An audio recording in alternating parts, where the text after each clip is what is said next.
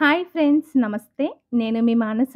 Welcome back to M and M's crazy kitchen ఈరోజు మన కిచెన్లో వింటర్లో ఎక్కువగా వచ్చే రొంప దగ్గు కఫం ప్రాబ్లమ్స్ని తగ్గించి హెల్దీ అండ్ టేస్టీ ధనియాల రసం ఎలా చేసుకోవాలో చూపించబోతున్నాను.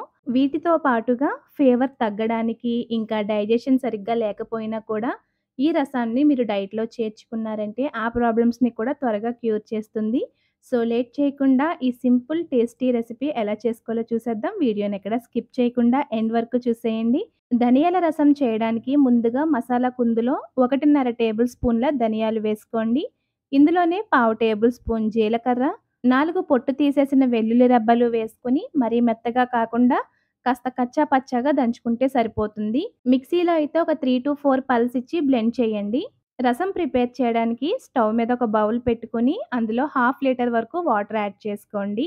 ఇప్పుడు ఇందులో మనం ముందుగా దంచి పెట్టుకున్న ధనియాల పొడి వేసుకుని ఒకసారి కలిపిన తర్వాత చిన్న నిమ్మకాయ సైజ్ అంతా చింతపండు వేసుకోండి. మీ కారానికి తగినట్టుగా రెండు మూడు పచ్చిమిర్చిని చీల్చి వేసుకోండి.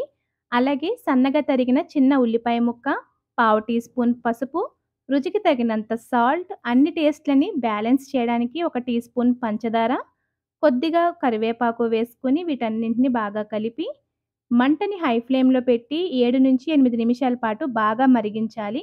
అప్పుడే మనకి ధనియాల్లోని కష అంతా కూడా రసంలోకి బాగా దిగుతుంది. ఇప్పుడు రసం గిన్నెని పక్కన పెట్టి అదే స్టవ్ మీద చిన్న ప్యాన్ పెట్టుకొని ఒక టీ స్పూన్ ఆయిల్ వేసి కాగిన తర్వాత పావు టీ స్పూన్ మెంతులు పావు టీ స్పూన్ జీలకర్ర పావు టీ స్పూన్ ఆవాలు చిటికడంత వాముని కాస్త క్రష్ చేసి వేసుకోండి. ఇందులోనే ఒక ఎండుమిర్చి కొద్దిగా కరివేపాకు వేసుకుని తాలింపుని బాగా వేగనిచ్చి ఈ తాలింపుని రసంలో వేసుకోండి. అలాగే కొద్దిగా రసాన్ని కూడా తాలింపు గిన్నెలో వేసుకుని మళ్ళీ తిరగబోసారంటే రసం చాలా టేస్ట్ వస్తుంది. ఇంతేనండి హెల్దీ అండ్ టేస్టీ ధనియాల రసం అయితే రెడీ అయిపోయింది. మీరు కూడా ఈ రెసిపీని తప్పకుండా ట్రై చేసి మీకు ఈ రెసిపీ ఎలా వచ్చిందో మాకు కామెంట్స్లో షేర్ చేయండి.